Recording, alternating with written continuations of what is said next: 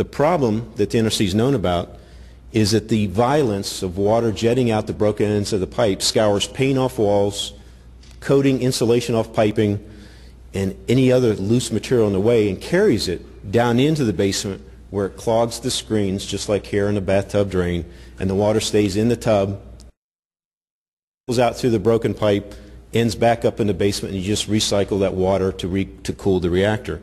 The problem that the NRC has known about is that the violence of water jetting out the broken ends of the pipe scours paint off walls, coating insulation off piping, and any other loose material in the way and carries it down into the basement where it clogs the screens just like here in a bathtub drain and the water stays in the tub instead of getting to the pumps.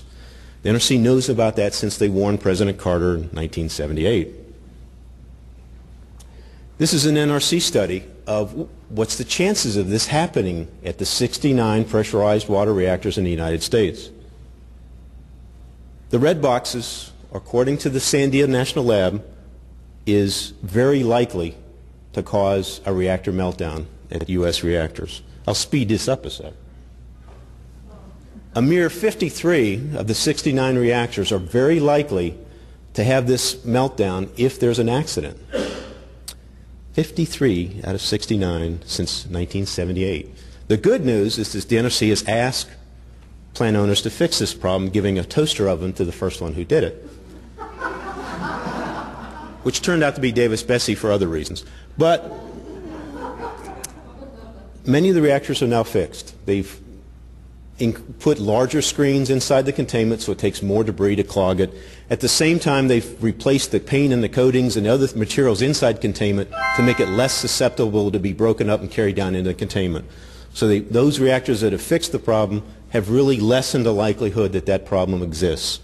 However, there are 20 reactors that have said, just said no, followed Nancy Reagan's edict and just said no. And the NRC has said, please? And this NRC, uh, no, sorry. We're trying to get the NRC to get those 20 reactors to fix this problem that many other reactors have fixed and hoping in the meantime that this doesn't happen at the plant in your backyard because it's very likely that it won't work. But that's only if it fails. Earlier than President Carter being warned, there was a fire at the Browns Ferry plant in Alabama that was owned and operated by the Tennessee Valley Authority. A worker using a candle to look for air leaks started a fire, as candles have been known to do. Mrs. O'Leary's cow has an alibi, but the worker using a candle to look for air leaks started a fire that was in the room just below the control room.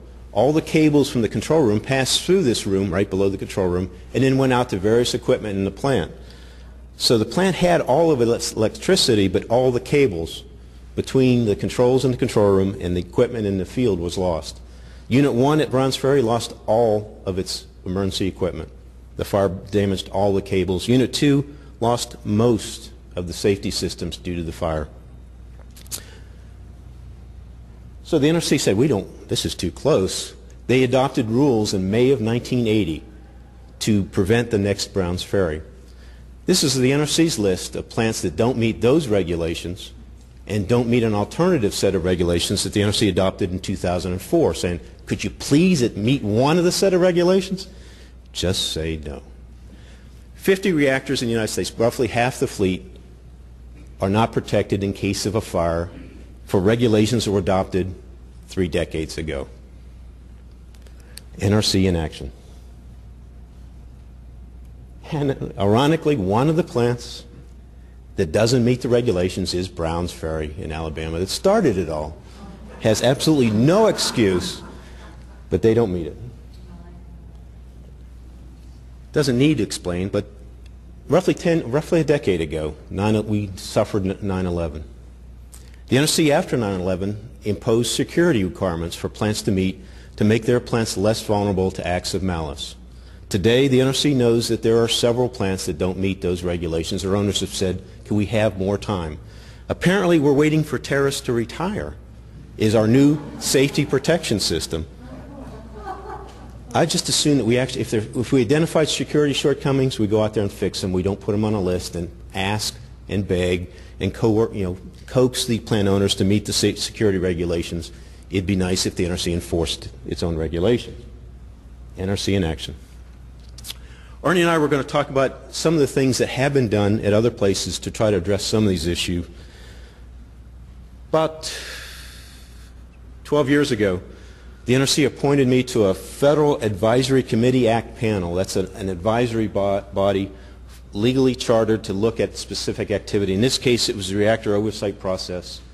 There was a number of industry representatives, a number of NR, uh, NRC officials, there were a number of state officials on the panel, and there was a token NGO, a token public member of the public um, serving on that panel to look at how the NRC's pilot reactor oversight process was working. The good news about that panel was that it was a consensus panel, so even the every member's view had to be reflected in the final outcome. It wasn't a majority minority report. So when they did the follow-up study, they changed it to a majority minority point, so it didn't matter what I said anymore.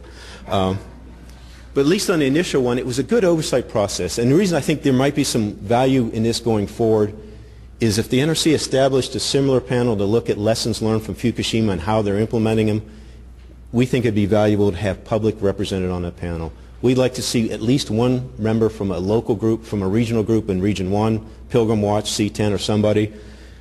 Also Region 2, the Southeast, the West, and the Midwest. The public at the moment doesn't fully trust the NRC for some reason.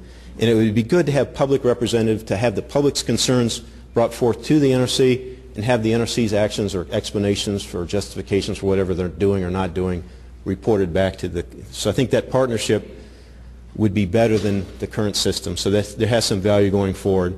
Let Arnie talk about, he, he was the chair of a panel in, at the state level in Vermont that I served on briefly before going to the NRC. Oops, sorry. A Little answer. The, um, the other example is uh, what we did in Vermont.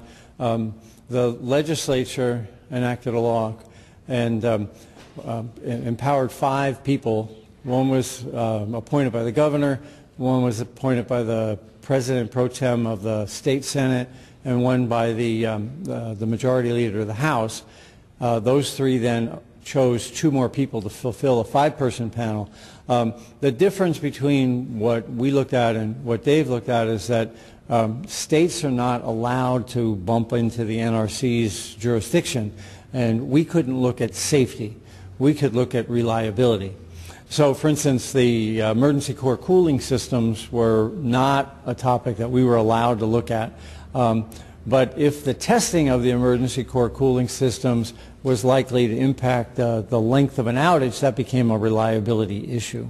Um, we issued a report after um, about $9 million worth of work by consultants. I'd like to say that went to me, but it didn't. You know, but they, there were a, a, team of consultants brought in to answer um, a matrix of questions. We had 13 different parameters, and we looked at six different systems, so 6 by 13.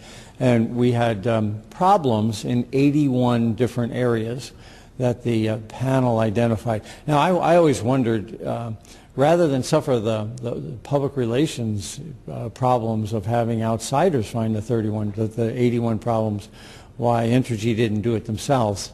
Um, but they, they, they chose not to. Um, the next year, uh, they didn't quite tell us the truth about an underground pipe, and uh, we were reconvened and found another nine problems. So this public oversight group effectively identified 90 problems uh, at, um, at Vermont Yankee. Um, and it will take until at least about 2015 or 2016 till all of those issues are resolved. And of course, the license ends in 2012. So um, uh, we shall see whether the extension occurs or not. But it was um, uh, as effective a process as any state has come up with to, uh, to shine the light on the inner workings of a, of a nuclear power plant. Okay. Thank you. Thank you.